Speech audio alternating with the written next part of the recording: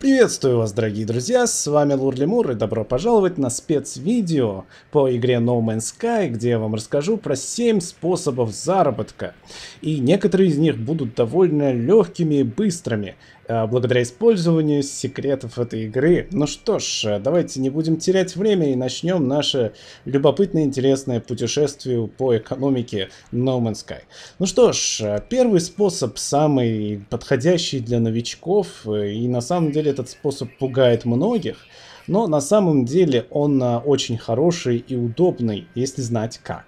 А долгое время я бился над тем, чтобы такого находить и чтобы продавать, чтобы иметь много-много лимонов. Ну вот первый способ поможет вам заработать около полтора миллиона а, юнитов а, игровой валюты, вот этой вот. И а, притом сразу без смс и регистрации. А, для этого мы должны найти вот такой вот заброшенную базу. А, такие заброшенные базы мы будем встречать на а, различных планетах и буквально в самом начальном этапе игры. Что же особенного в этих заброшенных базах? Во-первых, у них часто выбитая дверь. Это сразу видно будет и а, они будут помечаться иконкой как заброшенное здание, плюс мы будем находить рядом с ними вот такие вот отростки с такими вот яйцами, которые называются сейчас шепчущие яйца. Раньше они были названы жужжащими яйцами, но дабы была, была разница между другими артефактами, другими яйцами, их, возможно, переименовали. Сейчас они называются шепчущие яйца, как вы видите. И а, вот этими вот яйцами окружены обычно эти базы. Притом эти заброшенные здания или базы а, бывают разных форм. То есть, например, это в данном случае она очень маленькая. И на них, дорогие друзья, внимательно, а, будьте сейчас вним, внимание, внимательными, что на них очень легко вот так вот взлететь. И это неспроста на самом деле. Благодаря этому мы сможем добывать э, очень ценный ресурс, о котором я сейчас поговорю. Прежде чем начать этот процесс, я сейчас освобожу свой инвентарь, ибо в моем инвентаре э, достаточно мало места для всех этих операций. Итак, Итак, после того, как мы освободили место, в нашем инвентаре остается, должно быть хотя бы три свободные ячейки, а то и больше, потому что добывать нам придется достаточно много всего, а, то есть в количестве большем, и по этой самой причине а, желательно иметь пустое место. Вот, значит, нашли мы такую кладку. Для начала мы должны скрафтить самое простое, что нам доступно в игре. А, данное устройство называется усилитель сигнала. А, зачем он нам нужен? Я не могу вам долго объяснять. А, вы сейчас сами все увидите. Мы его ставим приблизительно вот на таком вот расстоянии от этих вот а, жужжащих яиц. А, и скакиваем на него. Да, мы стоим буквально на нем. Сейчас я даже сделаю... А, хотя не надо. Думаю, вы, вам понятно, что вскочить на него не составляет никакого труда. В принципе, это реально возможно. Сейчас я перезаряжу свой щит, иначе мне будет хана. Итак, заряжаю щит и все готово.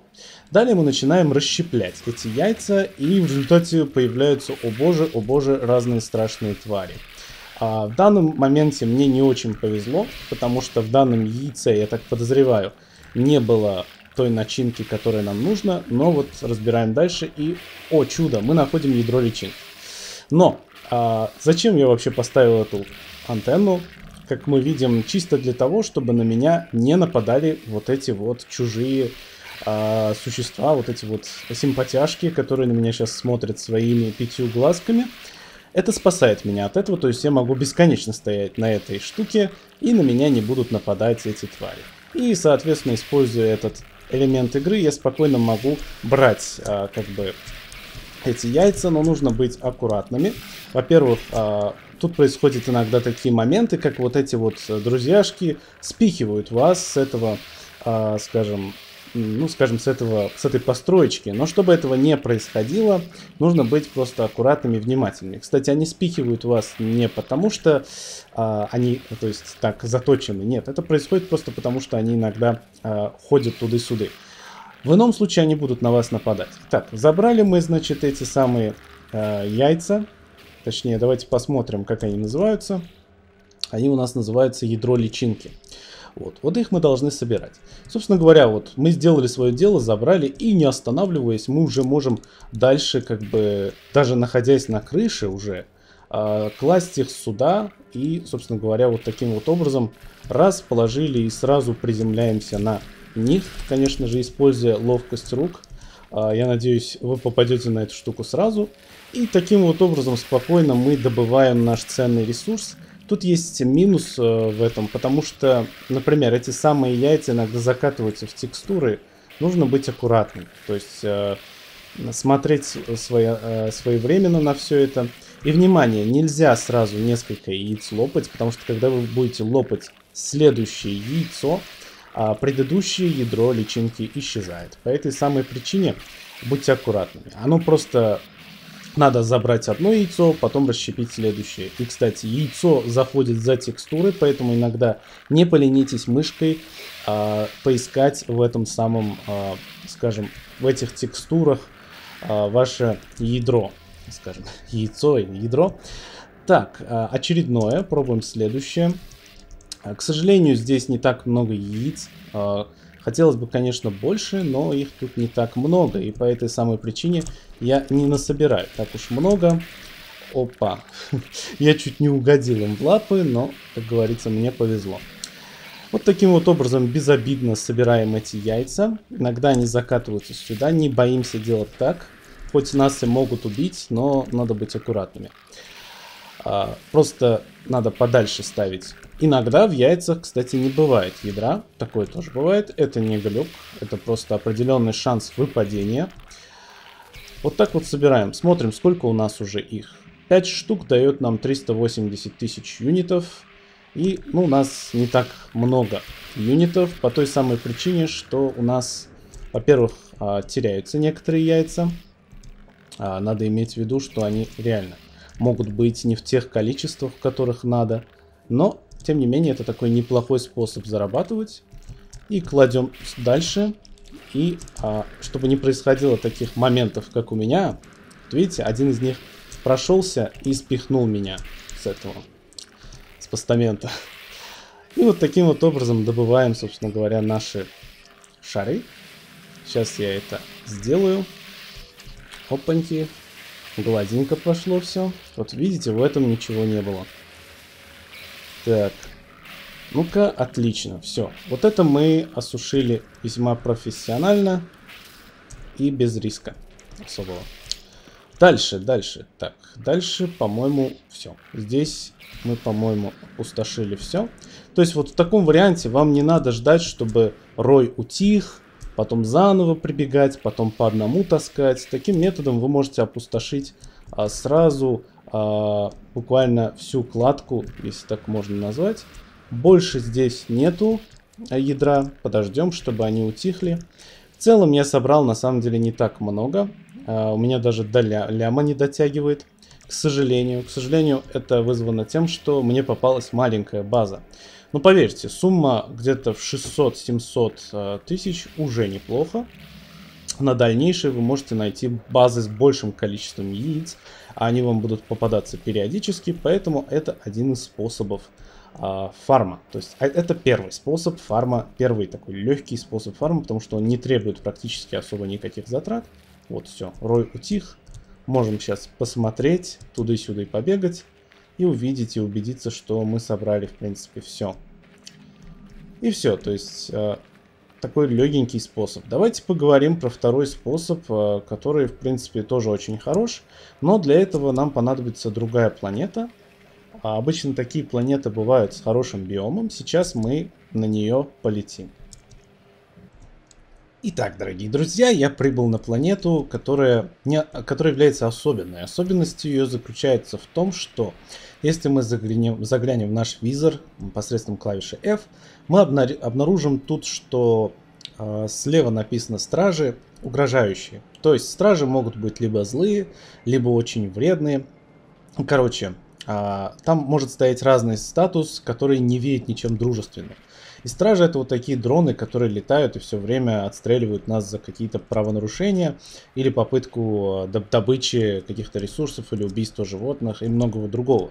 Но прикол состоит в том, что эти самые стражи, э, они э, на этих планетах, они особо злые, и они будут в вас стрелять, как только вас просканируют. То есть не увидят, нет. Они вот, например, сейчас они за мной не полетят, но если они вас именно настигнут, подойдут поближе, очень близко, они начнут э, сканировать и затем стрелять. Обычно, на, почему они такие злые, этому есть объяснение. Притом на этих планетах очень часто нету вредных факторов. То есть, как видите, я тут стою, тут нет радиационного излучения, то есть тут нету кислотной атмосферы, или здесь нету... То есть здесь не слишком горячо и не слишком холодно, здесь достаточно хорошо и все и мирно. И вот на таких планетах очень часто бывает особый вид артефактов дорогие друзья, это, если мы заглянем в визор, мы можем найти, что-то сканируется, даже не знаю что. А, да, мы можем а, заглянуть и увидеть вот такие вот гравийные шары. То есть вот они буквально отмечаются желтеньким таким с двумя полосочками. Что это за полосочки, я чуть попозже расскажу. Когда мы под, подходим к гравинным шарам, издалека они смотрятся как а, серые шары. Но если мы к ним подходим, они начинают светиться.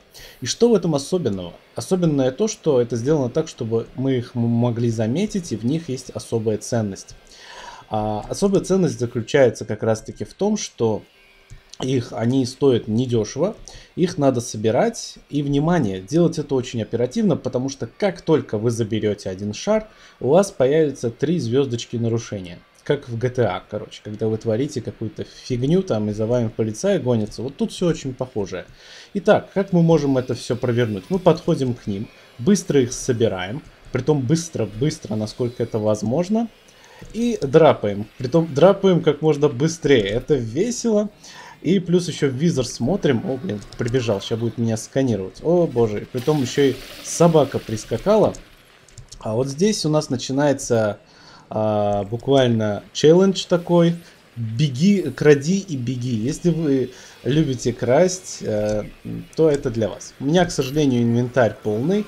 И я не могу дальше все это брать. Но можно, в принципе, по кругу, то есть э, бегать от шаров к шарам. То есть вот они, например, здесь. Их полно обычно бывает. Набираем, наверное, штук, там, не знаю, 20-30 шаров, сколько вы захотите набрать. А, сядаем в корабль. А, сядаем в корабль и улетаем. Весь прикол в том, что стражи не смогут вас довольно сильно лупить, долго лупить.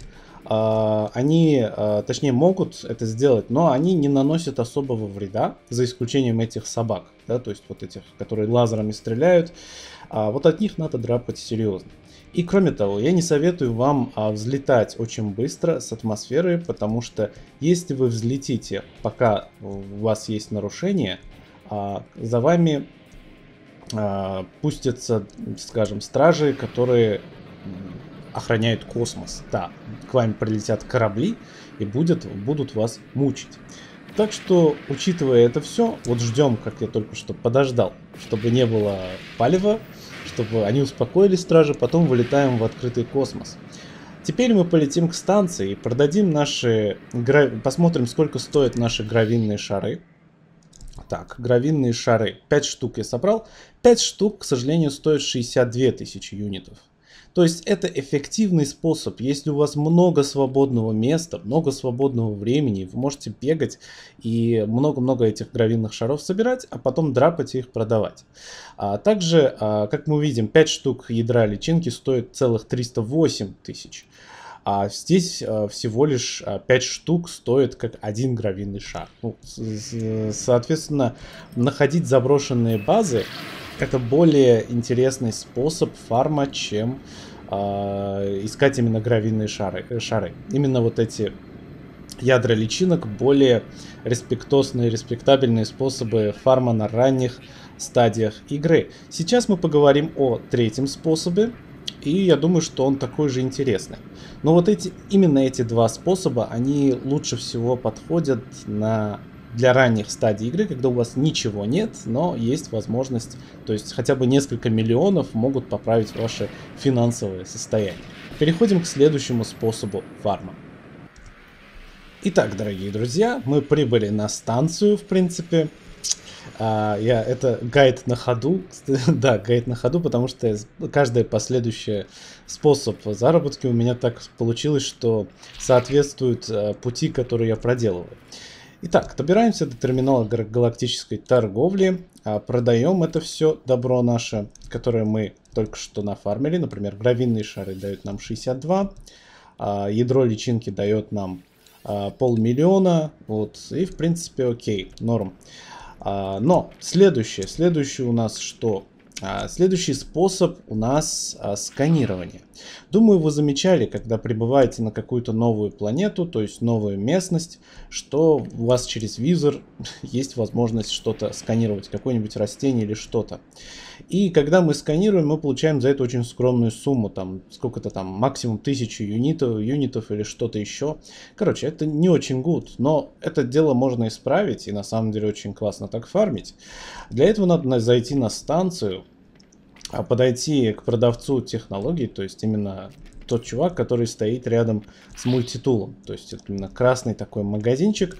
В нем продаются интересные запчасти для улучшения вашего мультитула. Сейчас посмотрим. Начинаем с ним говорить. Такое, такое существо с клювом, а, которое нас обнюхивает. Мы а, идем не в первую опцию, а во вторую опцию. Купить модули улучшения. Тут нам предстоит вот такие странные модули, которые похожи на автомобильные свечи, возможно на что-то другое. И а, ищем именно оранжевые модули. В данном случае у, у данного продавца у нас нету оранжевого модуля, а, который нам нужен. Нам нужен конкретно модуль сканера. То есть он вот буквально называется модуль, э, модуль сканера, но нам нужен именно оранжевый. Почему? Потому что оранжевый является самым лучшим классом. Например, э, данный класс э, это является классом S. То есть S это самое лучшее, то есть оранжевый в этой игре самое лучшее. Синий это B, а, а красный это А. Кстати, класс А не самый лучший, как ни странно. Почему-то самый лучший это S. В данном случае тут модуль импульсного скорострела. Но импульсный скорострел нам не особо нужен, нас интересует только сканер. К огромному счастью, у меня а, в моем мультитуле уже установлены эти самые сканеры. У нас тут есть целых три сканера. Вот, а, он прямо так может по-разному называться, кстати говоря, но до установки он напоминает эти самые свечи. Мы его покупаем, кладем в основной наш а, костюм, то есть а, затем нажимаем клавишу E и перетаскиваем его на мультитул. Перетаскиваем и устанавливаем в любую свободную ячейку. Кстати говоря, не в любую, я об этом очень сильно хотел бы упомянуть. Дело в том, что тут происходит такой интересный момент. Я думал очень долго, что если мы будем устанавливать эти технологии где попало, происходит не совсем бонусное складывание их возможностей. Вот мы установили один из модулей. Кстати, посмотрите, как он увеличивает характеристики вашего, скажем, сканера вашего мультитула. Посмотрите, радиус сканирования плюс 32%. Вознаграждение за сканирование а, фауны, 7, внимание, 7071%. И за флоры 7292%. То есть вот эта штука, она усиливает а, доход также, получаемый от сканирования что очень важно, что, собственно говоря, нам и нужно. И если мы побольше таких высококлассных а, сканеров поставим, но, внимание, они должны находиться друг рядом с другом. Видите, они горят белым, если они находятся друг рядом с другом. Если они располагаются где-то через э, какой-то другой усилитель, то они уже белым не горят. Я подозреваю, что они в этом случае немножко теряют от способности увеличивать а, бонусно ваши возможности сканирования и так далее. Поэтому, например, мне надо этот боевой прицел убрать, разобрать вот эту штуку и уже купить заново новый, а, скажем, модуль и установить его сюда. Поэтому э, имейте в виду, что такие вещи могут произойти. Об этом вам, кстати говоря, никто не скажет. Ни в одном обзоре я этого еще не видел. И когда, в общем, мы установим три таких э, улучшения для нашего сканера, э, будет происходить следующее. Сейчас мы отправимся на какую-нибудь новую планету и будем сканировать. И э, я вам реально покажу, что вы поднимете около вы можете поднять до миллиона, а то и больше юнитов попав на планету, где очень много растительности и очень много разных зверушек. Итак, дорогие друзья, я прибыл со станции конкретно на Луну, на которой я не был. Луну одной большой, большой планеты, которая у нас сейчас сверху чуть не свалится. И мы можем а, посмотреть, допустим, на растение через визор и отсканировать его. И внимание, сколько мы получаем? 67 тысяч. То есть в обычном сканировании мы получали бы гораздо, гораздо меньше, то есть несколько раз. И, соответственно, если мы будем сканировать всю флору, то есть, да, тут очень много видов растений, например, еще 67 тысяч, а, с двух растений уже мы забираем так смело стольник. То есть это даже круче, чем воровать гравийные шары. В этом есть свой определенный плюс. А, конечно, немножко выматывает бегать по разным планетам и искать все.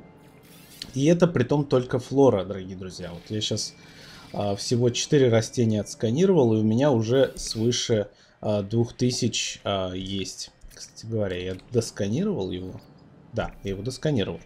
Так как на растении бывает, бывает точнее планеты с огромным количеством растительности или фауны, то это довольно выгодно.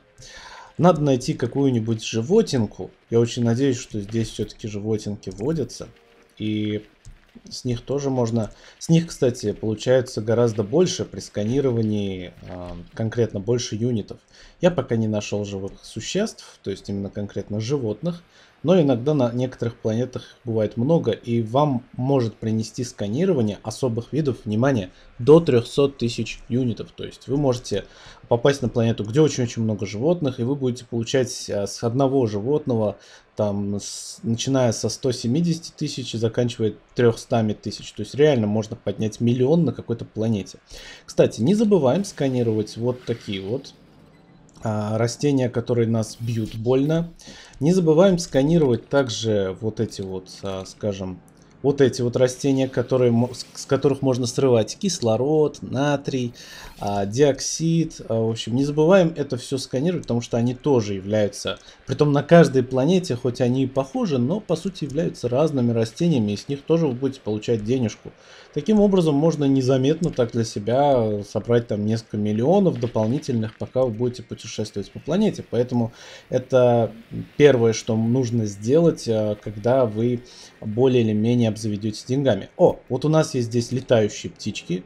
Про летающих летунов не забываем, их тоже нужно сканировать, так как они являются типа отдельными животными. И, внимание, сколько нам дали? 177 тысяч за открытие. Притом, вот, например, этот вид совсем другой. Вид летунов. Давайте мы их тоже отсканируем. Давай сканируйся. Так. Хорошо, хорошо, что они летают по кругу и медленно. Бывают очень Э, шустрые. За этих нам дали поменьше, к сожалению. Ну, что поделать. Здесь в основном летуны на этой планете, и поэтому надо быть аккуратными. По поводу модулей, кстати говоря, S-класса. Не на каждой станции они бывают, и поэтому на, э, при путешествии по разным звездным системам первое, что вам надо будет делать, это заглядывать на космические станции, бегать к продавцу мультитула и смотреть, есть ли у него... Э, тот самый модуль сканер, конкретно модуль сканера. После того, как вы усовершенствуете модуль сканера, вы можете также усовершенствовать уже модуль расщепителя. Вот он здесь стоит. У меня вот три э, расщепителя друг рядом с дружкой стоят, и все они эффективные. То есть, так как они близко э, ну, занимают соседние клетки, и у меня довольно быстрая скорость добычи, плюс мультитул практически не нагревается. То есть я могу бесконечно долго а, добывать а, сложные ресурсы и все, все такое. Переходим к следующему способу заработка. Это уже идут более-менее такие серьезные способы заработка. И а, сейчас мы поговорим о них подробно. Итак, дорогие друзья, следующий метод заработка, казалось бы, не особый метод заработка, но почему бы нет, почему бы не считать его заработком?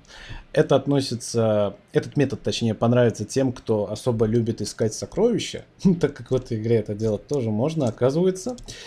Этот метод довольно простой. Вам снова понадобится усилитель сигнала. Усилитель сигнала такой вот помощничек наш.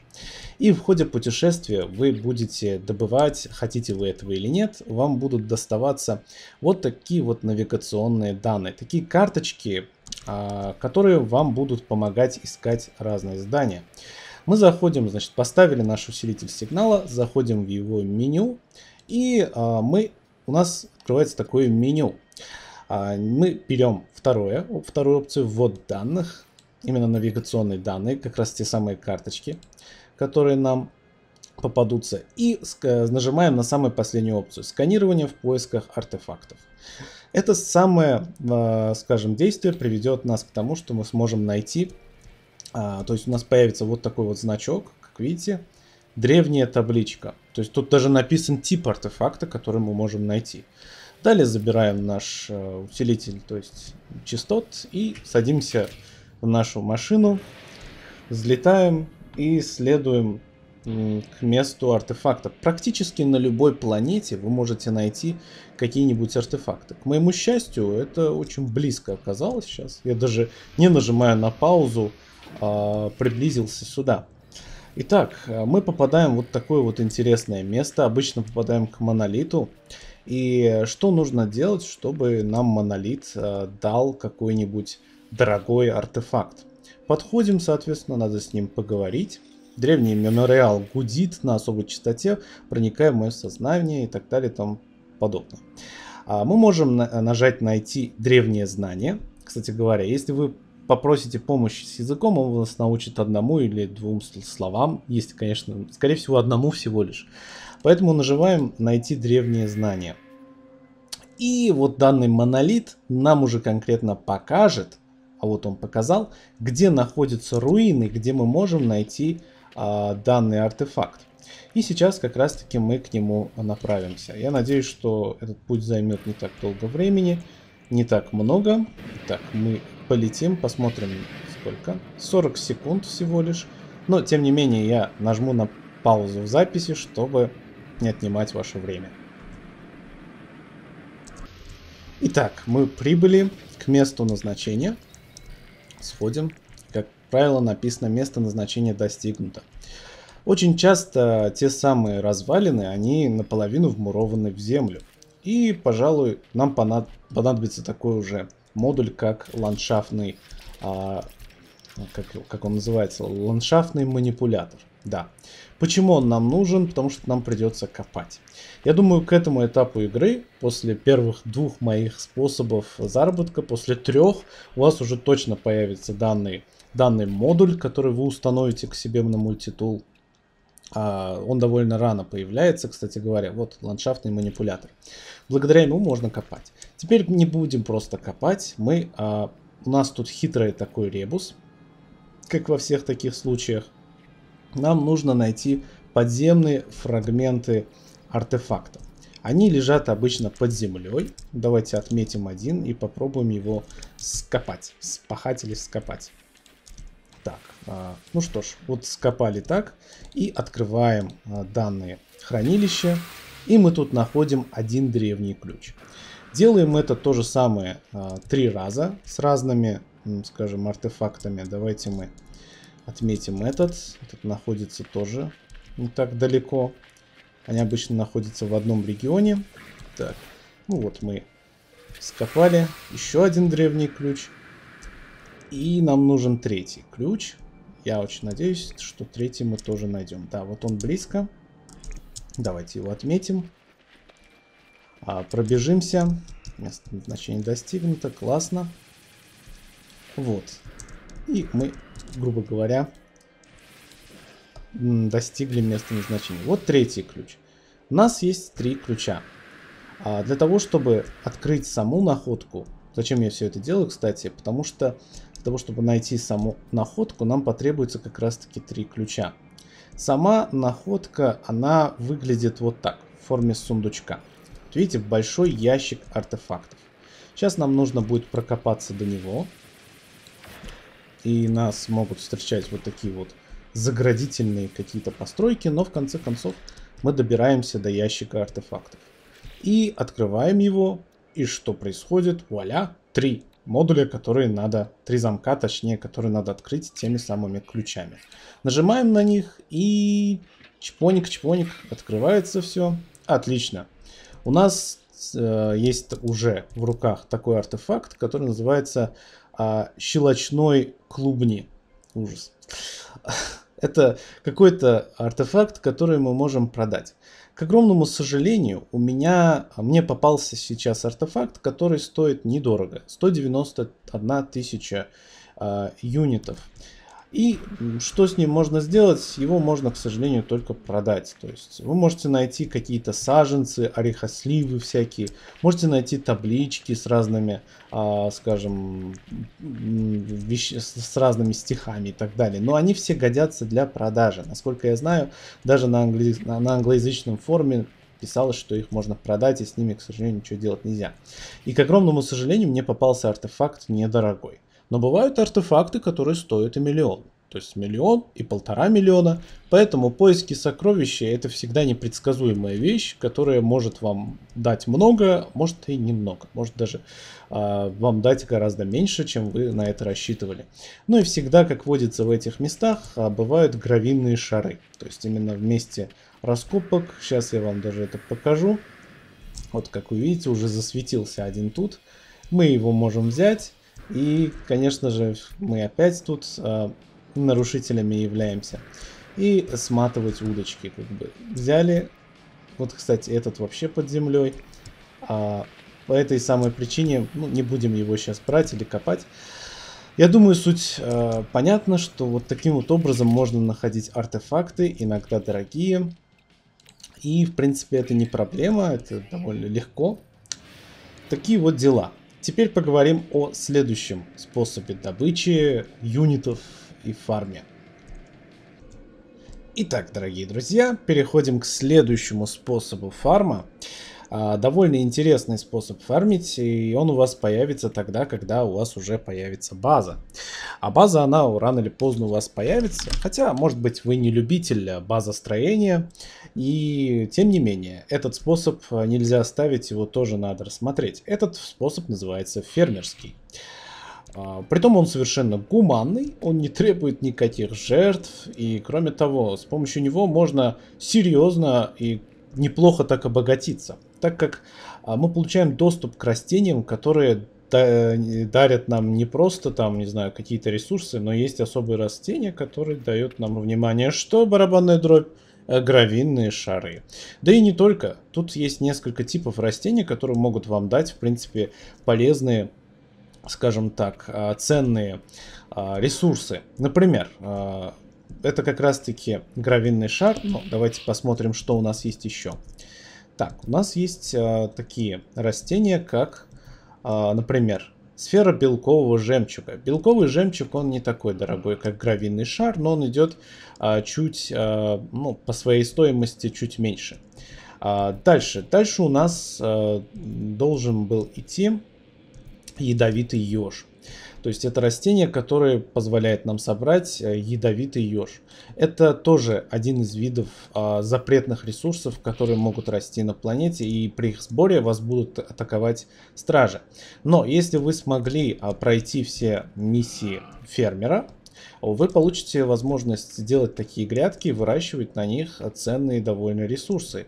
И в принципе вы можете построить их огромное количество и за раз продавать просто бешеное количество и получать огромное количество денег. То есть мне кажется это один из самых перспективных способов фарма вообще. Но этот фарм подходит уже как раз таки для тех, кто любит строить базы.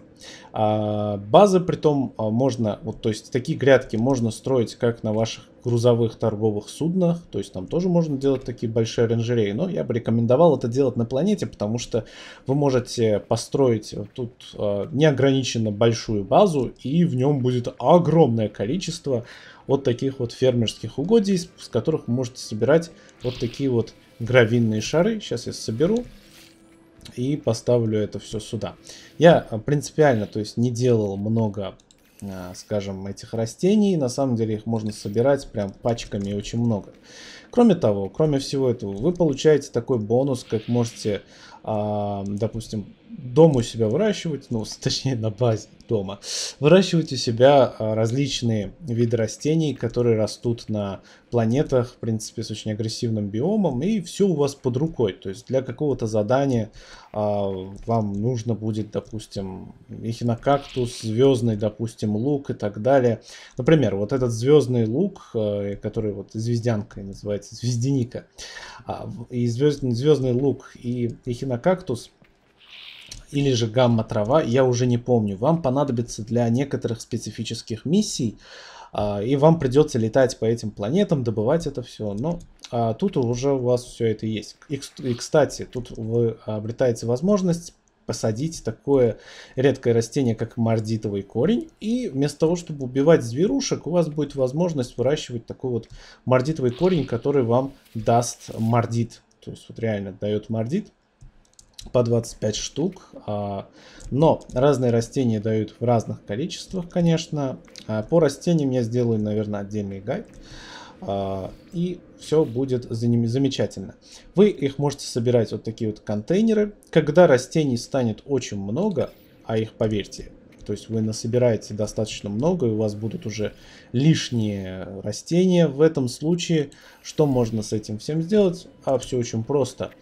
А, допустим, вот у меня уже нету места для морозного кристалла. Собираю этот морозный кристалл а, и кладу его, скажем, в очиститель. Притом в любой. Ну, у меня уже есть большой, я просто кладу в него. И, внимание, для бонуса, что я получаю? А, морозный кристалл. То есть, прошу прощения, не морозный кристалл, а углерод. Любое растение дает двухкратный углерод. Да, то есть вы можете двухкратно на, нафармить себе как можно больше углерода, а углерода много не бывает. Он используется везде и при всем. Поэтому вот такой вот интересный способ фарма у нас еще есть. Остается еще несколько способов фарма. И, кстати, по поводу способа фарма благодаря сканеру, я скажу, что я забыл упомянуть одну вещь.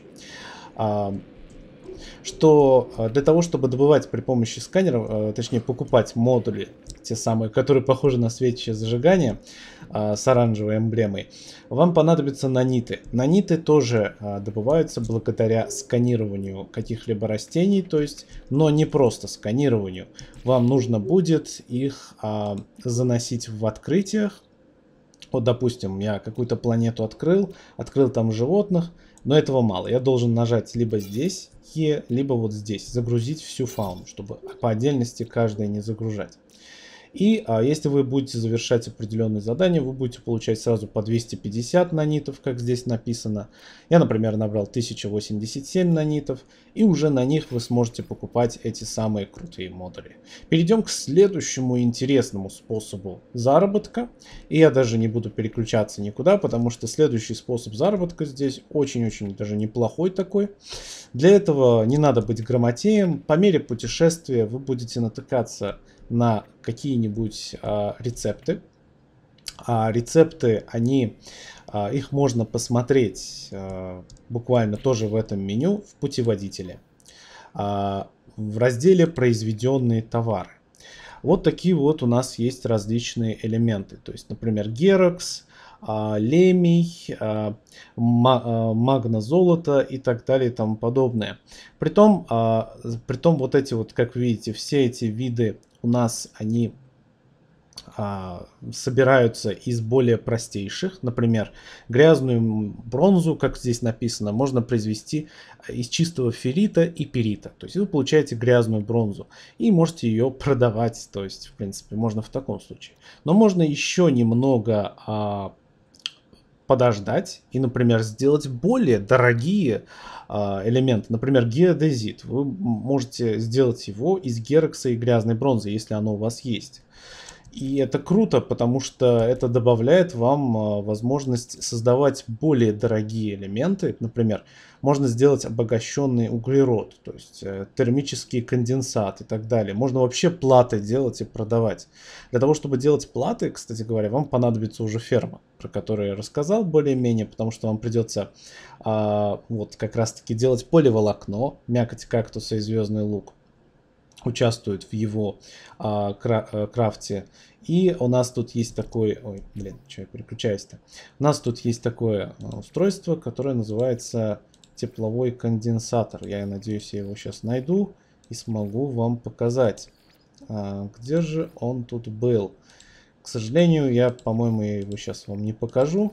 Но в ходе задания вы обязательно его встретить. Вот он нашел, нашелся.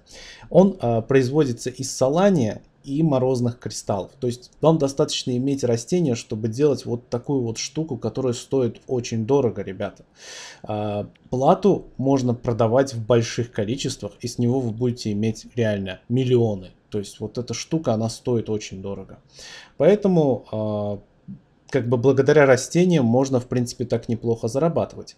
Но данный вид заработка не относится только к растениям. Вы можете сделать термический конденсат, там а, полупроводник, вот органический катализатор. Кстати говоря, 5 штук органического катализатора дают миллион шестьсот а, юнитов. Да, то есть вот можно реально делать продукты, которые очень дорого можно продавать. Поэтому этот способ заработка никто не отменял. Он тоже замечательный и прекрасный. И совместно с фермой даст вам огромный прирост. То есть можно делать в большом количестве все это и зарабатывать огромное количество ресурсов. Перейдем к следующему виду заработка. Да-да, мы еще не закончили. Здесь есть еще несколько способов заработать. Итак, э, мы поговорим про следующий способ заработка. Я забыл добавить к предыдущему способу заработка, друзья, что рецепты, вы рецепты, допустим, крафта более сложных и дорогих веществ, э, которые можно будет продавать, вы будете находить э, в заводах. То есть вы получаете, допустим, сигнал бедствия. И сигналы бедствия, кстати, можно также находить через э, усилитель сигнала, который мы использовали в предыдущих способах. То есть там просто вместо э, поиска э, артефактов выбираете поиск э, аварийного сигнала. И тогда вы можете запросто то есть, э, найти завод или, кстати говоря, потерпевший крушение какой-нибудь корабль. А, неплохие такие способы. Ну а сейчас перейдем к седьмому заключительному способу фарма. Он немножко сомнительный, дорогие друзья, но в нем что-то есть интересное. А, вы, наверное, видели, когда пролетали куда-нибудь вот такие большие корабли грузовые, и их окружает множество малых кораблей, которые называются фрегатами. Ходе игры у вас будет возможность приобрести такой грузовой корабль, либо же, либо, внимание, получить его на халяву, спасая его от каких-либо пиратов. То есть вот, пираты нападают на вас, вы атакуете пиратов, а, убиваете их, а затем вас командир к себе зовет, вы заходите к нему на рандеву, на огонек, и он говорит, я устал от этих обязанностей, короче, спасибо, что спас мой корабль, я дарю его тебе, короче, все, корабль твой, забирай его с потрохами, вот тебе команда, вот тебе мои тапочки, халат, короче, забирай все это, и это все будет твоим. А, и у нас изначально дается один а, фрегат, может будет даваться два, но вот эти, эти два фрегата это самое, одно из самых важных, что у нас будет потому что эти фрегаты позволят нам зарабатывать. А, ну, для начала, конечно же, заработок будет небольшой, но потом, по мере того, как вы будете прокачивать и покупать, кстати, вот эти фрегаты тоже можно покупать. Их можно покупать очень просто. Они стоят, кстати говоря, не так дорого. Миллион, два миллиона. Конечно, лучшие фрегаты стоят очень дорого. Там где-то 10-11 миллионов. Фрегаты тоже бывают, кстати говоря. А, Б, С и С класса. Самый лучший С класс. Если есть возможность покупать фрегаты С класса, то покупайте. Притом, фрегаты бывают разные. Давайте залетим в мой грузовой корабль и посмотрим, каких типов бывают фрегаты поговорим о них более поподробнее. Сам же грузовой корабль полезен тем, что он является как бы мини-переносной базой. А в нем вы можете хранить свои корабли, которые вы нашли. Да, вы можете теперь иметь несколько кораблей. В данном обновлении, а, скажем, в обновлении Next нашей любимой игры No Man's Sky. Сейчас я пройду в мостик Э, капитана. Занимает некоторое время, которое меня все время бесит. Итак, я добрался до своего мостика. Здесь дырочиститель стоит. А в этом мостике как раз таки можно рассмотреть наши фрегаты. Это можно сделать так. Управление флотом. Заходим сюда. И становится видно, сколько фрегатов у меня есть. Притом каждый раз, наводя на какой-либо фрегат, он тут загорается слева. То есть, где он стоит относительно корабля. О фрегатах. Теперь есть несколько видов фрегата. Есть э, фрегаты исследовательские, боевые, торговые, промышленные. А, по-моему, все. То есть я больше других видов не встречал, по-моему, 4 вида. И нам нужно будет а, копить именно торговые. ребята, торговые корабли. Торговые фрегаты, они э, очень хороши для торговых миссий, на которых вы можете заработать. Притом, э, мало зарабатывать, поначалу вы будете зарабатывать мало, наверное, где-то даже 100 тысяч юнитов от отправки, то есть таких кораблей, но со временем ваши корабли прокачиваются. То есть чем больше успешных встреч они проводят, как они здесь называются, успешных завершений миссии, тем, а, соответственно, они прокачивают свой класс. То есть, например, здесь есть у меня исследовательский класс корабля S, а вот торговый корабль, он только получил статус B, а э, боевой получил статус А. И это зависит от а, миссии, которые, то есть количество миссий, в которых они вышли успешными такими красавчиками. Также у меня есть множество кораблей класса С. Они тоже прокачиваются, пока я их отправляю на эти самые миссии. Но этого, это еще не все. Так как э, торговля у нас э, непростая, непростой миссию. Это вообще непростая процедура, так как во время миссии на наши корабли могут нападать огромное количество пиратов. Они могут просто умереть, там, не знаю, столкнуться с разными существами и у них много приключений может быть. Всегда с торговыми кораблями желательно отправлять боевые корабли, которые будут их защищать от пиратов, от чего-либо еще. Достаточно в связке, допустим, с четырьмя торговыми кораблями отправить один боевой. Можно для разнообразия отправить исследовательский. Я просто его купил для того, чтобы он у меня был, а, ну, как бы в качестве одного корабля класса S. И а, это прикольно, потому что исследовательские корабли могут нам приносить много разной информации, они более универсальные, кстати говоря. А, промышленные корабли могут приносить нам редкие, редкие ресурсы, если они прокачанные, хорошие.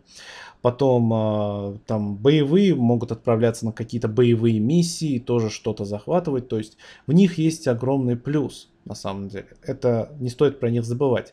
Если вам нравятся подобные видео, я отдельно сделаю целый гайд по поводу, то есть гайд связанный с этими вот вообще с корабельными делами. Если вам нравится, то ставьте плюсики. Ну, а теперь конкретно поговорим про торговые корабли. А, допустим, мы у нас мы понакупили себе торговых кораблей. Этого, конечно, мало. Мы, а, соответственно, должны отправить их на миссию. А чтобы отправлять их на миссию, нам нужна такая штука, как топливо фрегата. Сразу фармите 200-тонную то есть 200-тонную модель, чуть не сказал, а в количестве 200 тонн фармите, как можно побольше нафармите. А для этого вам потребуется дигидроген. Его можно купить на разных базах, их вообще можно покупать где угодно. А, или же самому добывать дигидроген, или а, покупать, скажем, в торговой сети гель. Сейчас я вам даже покажу, как он называется. Так, у меня в Грузии было. А нет, в Грузии нет. А, ну, короче говоря, это такая субстанция, которую можно даже скрафтить самому. Сейчас. Вот, дигидрогенный гель. Легче купить его и потом его уже в очистителе вот таком вот из него сделать гель, дигидроген, вот такой вот дигидроген, и уже из него крафтить эти самые топлива для фрегата. В принципе, достаточно один раз, то есть много наделать этого топлива. Кстати говоря, его также можно продавать. А если вы сделаете достаточно много, то вы можете продавать в большом количестве и получать с этого деньги. Это тоже, кстати говоря, один из видов заработка, который входит сюда. Но не будем отвлекаться, делаем много топлива фрегата, потом подходим к нашему а, навигатору. Соответственно, у вас должна быть комната для управления фрегатами. Сейчас вот мы на это тоже посмотрим. И вот у нас есть, кстати говоря, неплохие такие а, миссии. Притом, чем больше вы будете отправлять на миссии, тем больше будет увеличиваться сложность миссии, соответственно, увеличиваться ваш доход от этого всего. Выбираем наш боевой фрегат. А, он уже сразу приписан к этой миссии. Потом выбираем все торговые наши корабли, а, которые только у нас есть. Можем также выбрать одно промышленное, то есть судно, и все будет замечательно. Итак, дорогие друзья, мне не хватило фриг... э, топлива для фрегата, вот как поэтому как раз таки я сейчас зашел сюда, чтобы его сделать.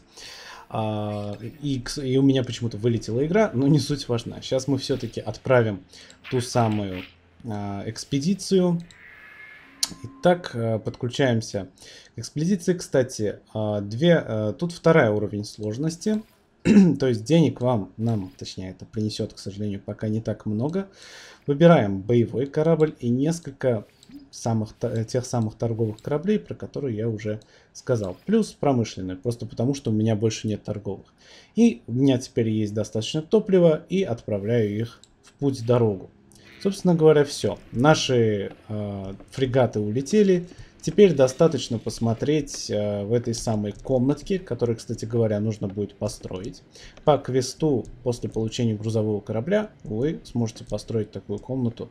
И чтобы отправить еще одну экспедицию, вам нужно будет построить, э, построить еще одну комнату. То есть, э, сколько экспедиций возможно отправить, если не ошибаюсь, по-моему, 5, э, может и больше.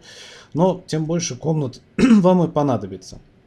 Такие вот дела. Тут также будут отображаться ваши корабли, которые вы отправили. Ну и э, все их статусы будут выходить. И они будут отчитываться. А, сейчас я нажму поговорить с командиром. Пока он всего лишь э, говорит об, скажем, статусе.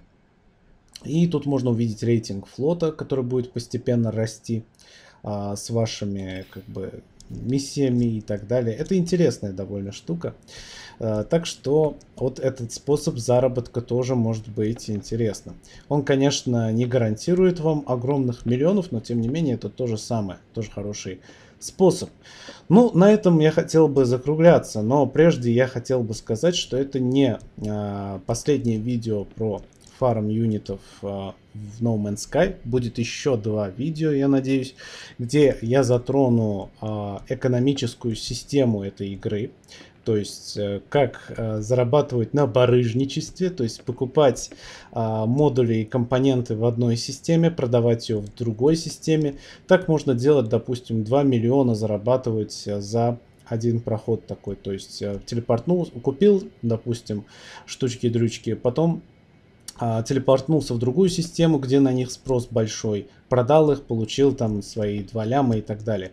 Этот способ хороший, но не подходит на начальных стадиях игры вообще, потому что для того, чтобы заниматься такими покупками и продажами, вам потребуется огромный инвентарь, то есть вам потребуется много ячеек, где-то 40 с чем-то ячеек, то есть даже у меня это, этих ячеек нету, и груза столько не открыто, я бы вам реально показал бы все, но я не могу этого сделать, потому что у меня пока нету столько ячеек. То есть это не, не на начальных стадиях игры. Мне больше превалирует а, создавать сложные механизмы благодаря тем ресурсам, которые у меня растут на базе и а, продавать их. Вот это уже как бы полный класс, потому что там реально, в какой бы системе вы их не продали, будет меньше беготни, меньше этих телепортаций. Но об этом мы уже будем говорить в третьем видео. Хоть я и показал в этом видео кратко, как можно это все сделать, но тем не менее для это материал для следующего большого видео. А, и еще я хотел бы вам показать такой бонус, то есть это бонус в конце данного видео, что если мы будем залетать на те самые фрегаты, сейчас я вот залечу на одного из них, а, я надеюсь, э, тот самый, а, тут окажется тот самый фрегат, который даст мне ресурсики. Сейчас мы залетим на него.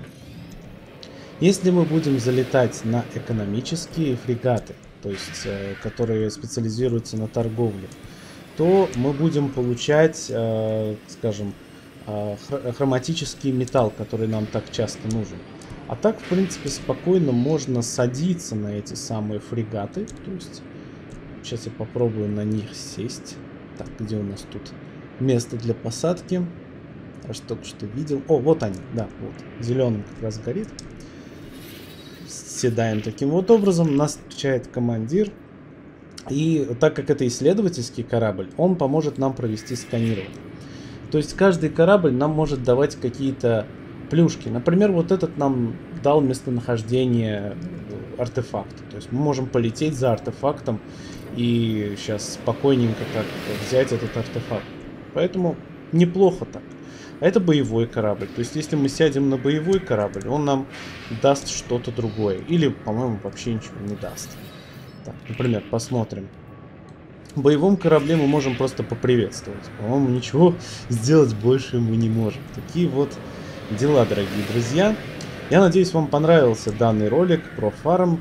А, возможно, вы что-то новое увидели в них, в этом ролике, возможно, что-то старое, но я считаю, что я постараюсь сделать всевозможные вообще а, гайды по заработку, и не только по заработку, вообще по многому чему в данной игре. И также последний способ такого негласного заработка это нападать на этих самых пиратов. Но для этого вам нужен какой-нибудь боевой истребитель, как у меня, например. Ну, и это, это способом заработка нельзя назвать, потому что на вас не все время нападают эти пираты. Это незапланированная штука, и по этой самой причине я бы не сказал, что это а, ценный а, и постоянный способ заработка. И самое последнее, чем я могу подытожить а, сегодняшнее видео, а, в этой игре нету панацеи. То есть в этой игре нету пана э, вида панацеи по тому, как можно зарабатывать. Все эти методы, про которые я рассказывал, они в каком-то смысле хороши в комплексе. Притом в комплексе в начале. То есть, допустим, подобывали этих самых яиц заброшенных баз, когда нашли, наткнулись. То есть, как, когда наткнулись, тогда и добываем. Сканируем подряд все. А, воруем гравийные шары или выращиваем их, и по мере вырастания растений крафтим дорогие ресурсы и продаем. И таким образом можно поднимать очень большие деньги, то есть на самом деле. Так что такие дела. С вами был Лорлимур, ставьте лайки, подписывайтесь, и до скорых встреч, дорогие друзья. Всем пока-пока.